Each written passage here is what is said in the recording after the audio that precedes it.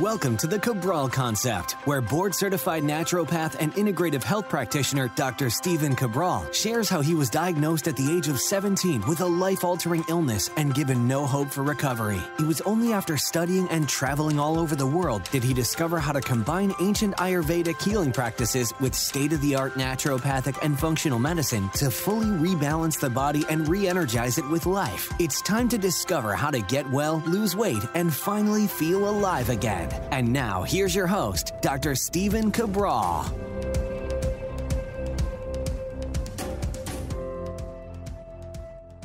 Welcome back, everyone. Great to have you here today. We are going over episode 2518. If you want to follow along for all the show notes and the three big takeaways, head on over to stephencabral.com forward slash 2518. All right, so I was reading a really interesting post the other day on social media. That is one of the few things that I do like about social media. I don't like all the bickering and complaining or fakeness of social media, but I love the shares. I love the aspirations that people put out there. And I also just enjoy the overall journey that people are sharing online. So I, I very much like social media for that. Social media for me is one of those kind of get in and get out types of things. Uh, I like to read the posts from the people that I enjoy following or, or that I may look up on my own um, but I don't hang around too often for the comments. The comments seem to turn into uh, and take on a whole life of their own. But one I wanted to share with you today was an interesting take on the blue zone cultures. So, the blue zones, if, if you haven't heard about them before, these are the traditional uh, cultures that have the longest living lifespans. Meaning, these are people that are not doing anything specifically, meaning like on purpose to live a longer, healthier life, yet they always have been for many, many generations. And maybe to clarify that just a little bit more, is that they are following their own protocol, their own systems, but they're doing that as a way of life, of what they've been handed down from generation to generation, and things that keep them healthy and maybe less reliant on a lot of the conventional medicine based interventions that we have today, because these people don't seem to need them in the same way. And although there are many tenants to the blue zones, meaning like community is a big one and movement, which we'll talk a little bit about today, one of the big focus is always on their nutrition.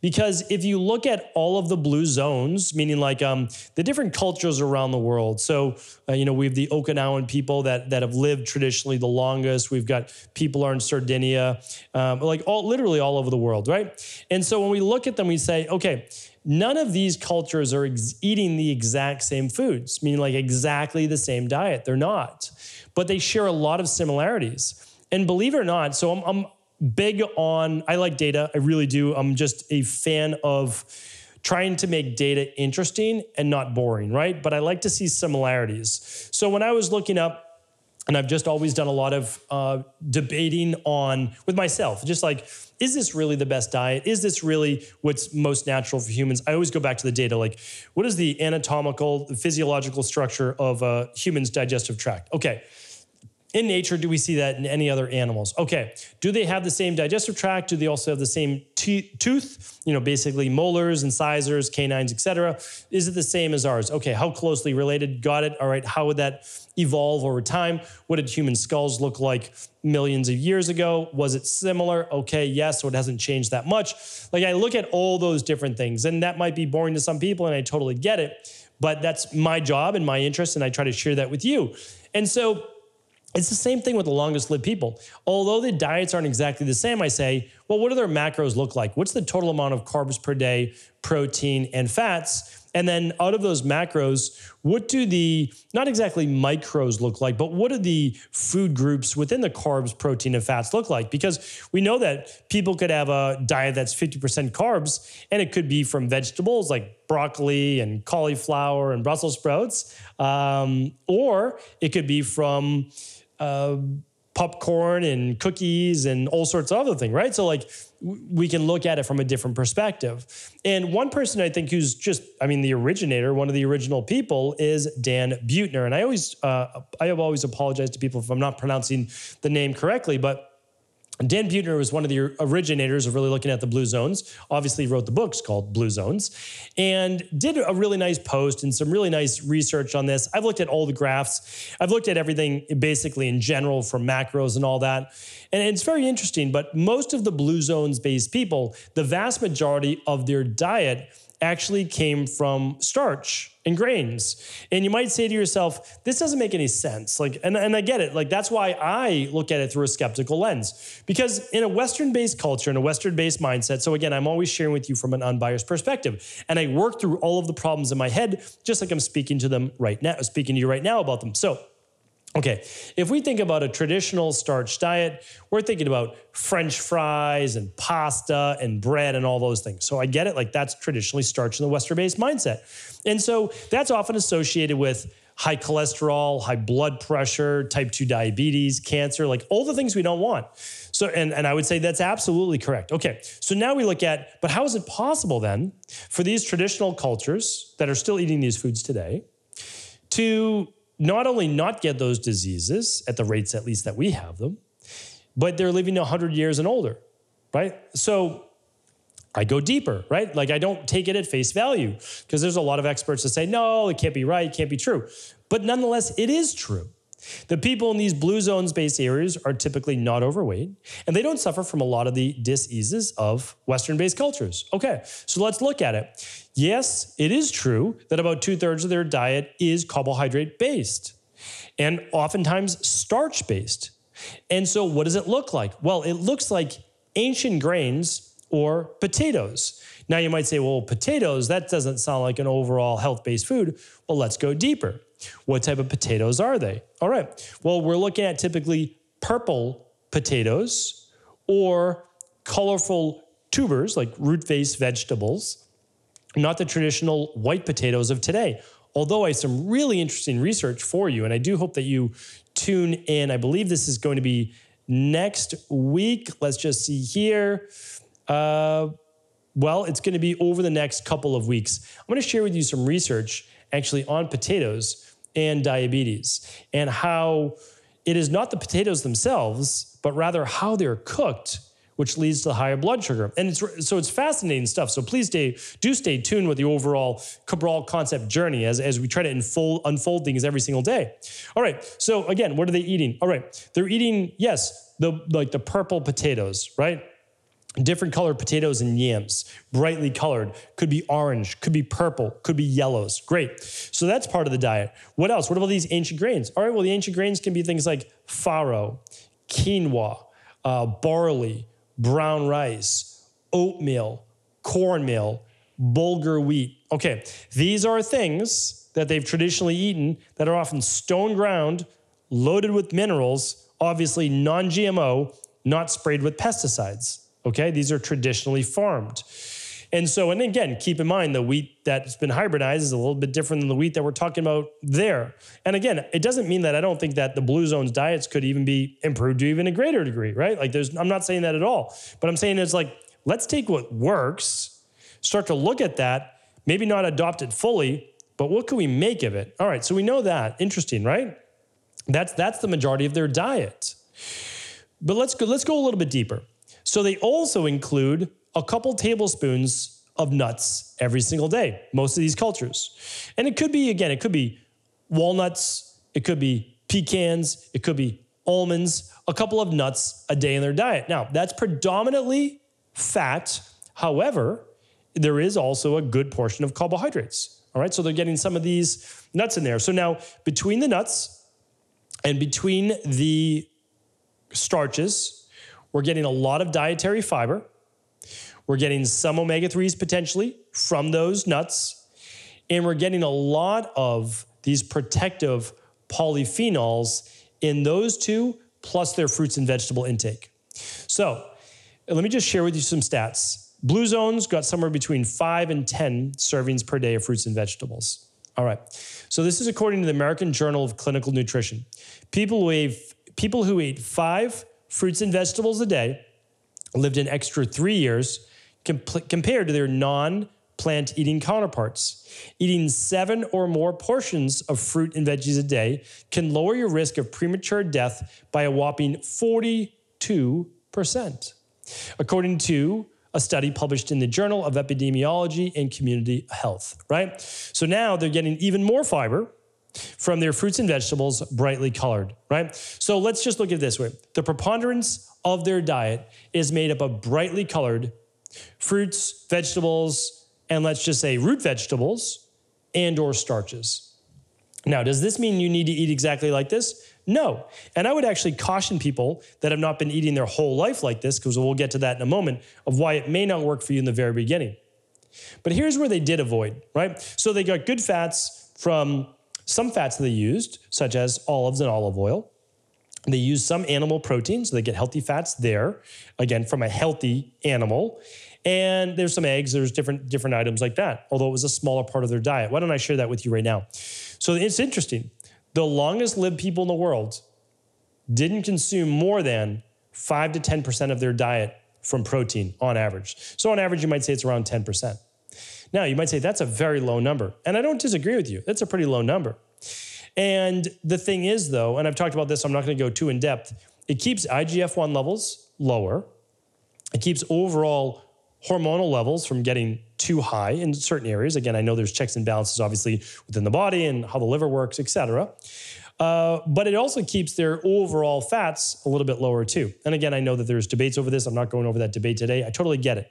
I'm sharing with you what the longest lived people did. That's all. Okay. So when you look at that, let's say they ate 2,000 calories a day, 10% of that is 200 uh, calories, right? We divide by four, it's about a 50, 50 grams of protein. Not a lot of protein. I'm not saying that you eat that little, right? But I'm just sharing with you what they did. And I've done studies, I've not my studies, sorry. I've done research on studies that have showed you that you really don't want to go over 19 to 20% maximum of your uh, diet from protein if you want to live a long, healthy life. Now, if you want to body tra- if you want to do body transformation, get in amazing shape, and that's your main focus, then you should go higher in protein, lower in certain other factors. I've talked about that on other shows. So it's just for the people who are looking to live a long, healthy life, and they're willing to create some compromises here and there. All right, because I think you can be in great shape and live a long, healthy life. Okay, so here's what they avoided though. They avoided sugar sweet beverages. Okay, so they often did some coffee in the morning and they might add some natural raw sugar to that. That's the extent. Every once in a while, they would bake pies or natural fruit based desserts. So, no processed drinks or processed sugary treats. There was no candy, there was no real cookies. Um, they made certain like biscuits, things like that sometimes, but these things were not on a daily occasion. They also did not add a lot of salty snacks. So, the although there's plenty of studies associating sodium with obesity and type 2 diabetes, the truth is, most of the salt is associated with processed foods, and it's the processed food in general. So you can't just blame the salt. Now, again, you have to take in lots of fruits and vegetables, or salt does cause an issue because there has to be a balance between sodium and potassium. But again, that's not today's show. So do keep in mind that a high sodium diet is not healthy unless you also have a high potassium diet all right like that's just that you have to you have to stay balanced and so the problem is most processed foods have salt added to them because when you add carbohydrates let's say sugar with salt and fat that is how you get someone addicted to a certain food. The salty the sweet and the fat that's the most addicting thing really for human taste buds right? Because that adds a lot of fat to the body and the body's programmed actually to add a lot of weight and that would help it during times of famine, right? During times of not a lot of food. Okay, so, and they also avoided processed meats. This is a really important one because I see a lot of people out there just like get in your protein no matter what, if it fits your macros, et cetera, et cetera. And they're eating lots of processed meat. A lot of the keto and carnivore people, they, they're just not t- teaching people about health. It's simply about body transformation and eating meat, and that's it.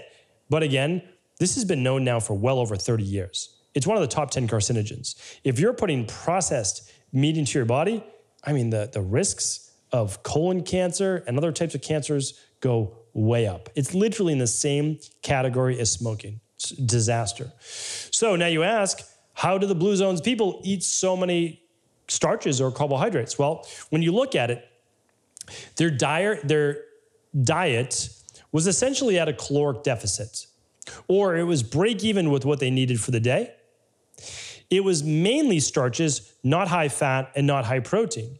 So when we look at that, we're not mixing, and this is going to, I'm going to be doing plenty of shows on this, and I have another show, which I'll link up today at stephencabral.com forward slash 2518, as to why carbohydrates don't cause diabetes. They just don't. Like it does not cause diabetes. Now, processed food, that's a different story. But are we talking about processed food or are we talking about carbohydrates? Because when you process foods, like let's think about this. What are your high carbohydrate foods, right? Cookies, and let's think about it. Um, crackers, and you're mixing in maybe popcorn, and like think of all those processed foods, right? There, we think of them as high carbohydrate foods. I don't disagree. They're high carbohydrate foods. But guess what else they're also in? High in fat. Now, am I blaming fat? No. But when you mix sugar and fat together, you're going to create inflammation in the body and weight gain. So when you're talking about the blue zones based diet, they're not mixing a lot of fat with their carbohydrates, right? So they're getting these meals that are easier to digest. And again, I can't go through every parameter today. Like, well, what about your continuous glucose monitor as it goes up after a meal? Okay, a couple things about that, but I can't go over that in depth. I've, I've done that on other shows. I'll do it in the future. Is that first of all, one of the reasons why people's blood sugar spikes after a meal, especially with carbohydrates, is that, well, one, there's a normal spike after a meal in blood sugar, right? And when I say spike it, my, I, well, elevation is probably a better word, right? Because I give you the parameters. I've talked about that before on a continuous glucose monitor. That's not abnormal. It actually helps to reset cortisol levels, leptin levels, ghrelin levels, and thyroid. So when we're always trying to stay baseline the whole day, maybe helpful, maybe not. I'm not talking about elevated levels of glucose throughout the day. That, of course, is not healthy. What keeps your levels of glucose elevated for a longer period of time? When you mix fat and you mix sugar together, right? It's not ideal. The other thing is this the blue zones people are incredibly active. So we've talked about this many times, but when you are walking and constantly moving, doing your chores, doing your tasks, gardening, etc., you are not getting that high elevation of blood sugar. You're getting a normal elevation that comes back down. So they are burning calories. They are using that glucose as fuel for their body. It's easy to digest. They're not converting it over to the body fat that you may think. And again, you can look at the blue zones people. They're not overweight. And so I've done this, I've talked about this on a couple of shows. Is like how not to add body fat. Well, create a deficit in your glycogen stores, how your body stores carbohydrates. If you lower your glycogen stores, and you eat carbohydrates, it fills those stores and it doesn't add body fat, right? So it's just something to think about. But the blue zones people, they were active, right? Enjoyed their meals, ate their meals, ate them slowly, followed a principle that most long lived people do eat until 80% full, not completely stuffed. Go for a short walk, have a digestive aid after your meal, don't overdo. And so when you look at that, it allows you to begin to at least let your, your mind go and start to think about that maybe you're able to eat a well balanced, healthy diet, not be overly restrictive if you're following a whole food nutrition plan and you're not overeating, right? So you have plenty of space between meals, you follow a normal overnight intermittent fast, and you enable your body to eat easily digestive foods seen in nature you keep your body moving, getting your 10,000 steps per day, and you begin to get all these phytonutrients in, plus your steps and your movement. And all of a sudden, all of your risk factors for early mortality and early death go down. And I've quoted this before, but if you don't get heart disease, you don't get high blood pressure, you don't get type 2 diabetes, and you don't get cancer, which, by the way, all of those are preventable. Cancer, as I've always said, is the wild card because you need to know what's going on inside your body. Then you're going to likely live at least another 10 years. So if you do that, an average life expectancy is 75 to 77, 74 to 78, depending on the year.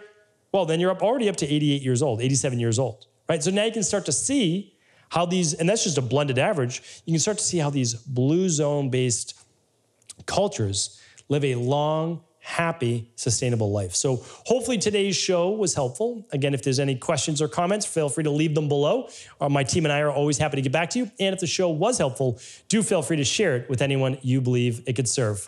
All the show notes today, all the links, uh, as well as Dan Buettner's post will be at stephencabral.com forward slash 2518. Did you know that the body really only becomes sick or unbalanced in only two ways? Over time, you become deficient in vital nutrients and you also accumulate toxins internally and from the environment.